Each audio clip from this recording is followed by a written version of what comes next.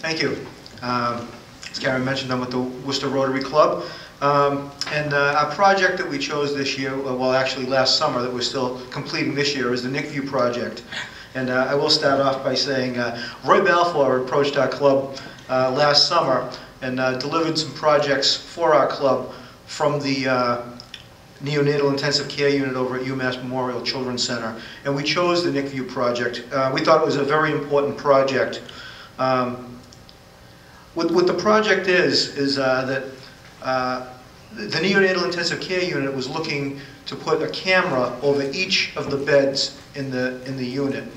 And they had six cameras uh, up front when uh, Roy approached us, and we wanted to fulfill the other 43 cameras.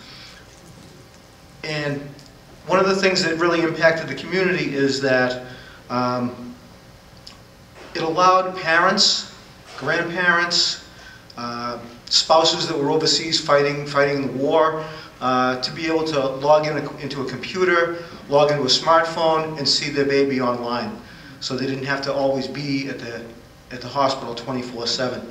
They could take a break, they could call their, their, their friends that are out in California, for example, and say, hey, we just had the baby, they're in the NIC unit, please take a look online. Here's the password and ID, you can log in and see. Um, It, it was a great impact. I mean, pe- people drew, drew to this uh, program like no other. I, I brought it to the bank I work at and asked if uh, the charitable committee would be willing to help us out by purchasing a camera, and they did. It went off like wildfire. I'll get into that later on. Um, But uh, part of the program is that the grant money was so important to us uh, to help us fulfill and facilitate the, the completion of, the, of this project that uh, we drew together as a club closer because we all embraced this project and we were looking for a way to uh, expand on uh, raising money for this project from our own club, from other clubs, and from uh, local businesses. And because we did all that, we were able to to fulfill the requirements to get the, uh, the district grant. Last year, we got a grant of $1,000. This year, we're getting $1,500 grant from the district uh, for our efforts. Um, We engaged seven other clubs and three clubs, as Roy pointed out, uh, that are, that are willing to step up to the plate. Uh, And along with some fundraising efforts, uh, we needed to accelerate the project toward completion. One of the tools available to us was the, the feed on the camera itself. So when an individual logs in to see their infant or uh, grandson or granddaughter online, they see at the very bottom of the screen, it says, provided by XYZ Company, provided by Worcester Rotary. And with that, we were able to look at this and say, gee, this is, this is simple. It's $1,200 for a camera. Now, businesses will spend that to go to a golf tournament for one day and, and be a sponsor, okay? So I saw this and said, gee, we can, we can sell this like sponsors for a golf tournament only, it's for the NIC unit, and they'll be able to see that tagline on there when, when people log in. They'll see that, that their business has donated this money. And it went off like wildfire. The, my bank sponsored one, um, United Lens then sponsored one, the president of the, of the Rotary Club in Southbridge uh, saw that, and he said, I'll match what the bank did.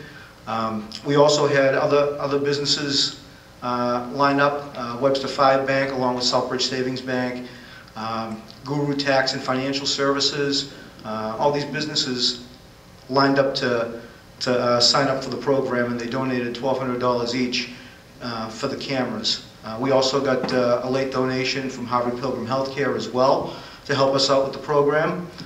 Um,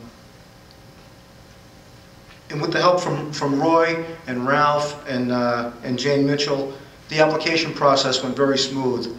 Uh, They told us we had to open up a separate account uh, for these funds to, to be deposited into and tracked. Everything had a, we had to take photos of everyone presenting checks and keep copies of all the checks and all the detail and everything and keep it separate from our, our regular service fund, which we did. And it was simple enough to do. Uh, and, and just grab that information and hang on to it, photocopy everything and send it in. Um, But we couldn't do it alone. We had to engage other clubs. We had to engage the community. and we had to get a buy-in from our own club to make this happen and make it possible. And uh, Roy really gave us a big boost, helping us launch this and get it out there. And uh, Dr. Picarillo, to his credit too, he was able to go around to other clubs to promote this program and help us to get it rolling. I I believe there's, what, Roy, uh, maybe six, uh, uh, nine cameras left? Nine cameras, nine cameras left to purchase to complete this project. Um, It's a fun project to work on, It's- it makes you feel really good to work on a project like this, helping children and families uh, in a local area, or a local hospital uh, in central Mass. Uh, And keep in mind, when it comes to these, these Rotary grants, the district grants, Rotary wants your project to be successful. They want you to be successful, and they want to help you with that project. Um, Without the support of, of uh, other clubs and, and the community and local businesses, uh, our project would not be a success. That's the power of Rotary.